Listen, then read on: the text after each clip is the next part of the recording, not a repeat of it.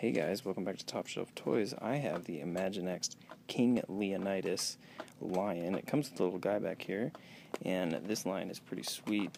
He has a little button on the back that if you press it right here, he lunges forward. And also, it looks like the wings open up. They're obviously attached because of the packaging, but you set this guy on there, and the wings open up, and you can make him fly. Um, fly around. This looks really cool. Again, Imaginext King Leonidas. A sword and Looks pretty shield. awesome. Yeah, it comes with a sword and a shield, and that guy, pretty sweet.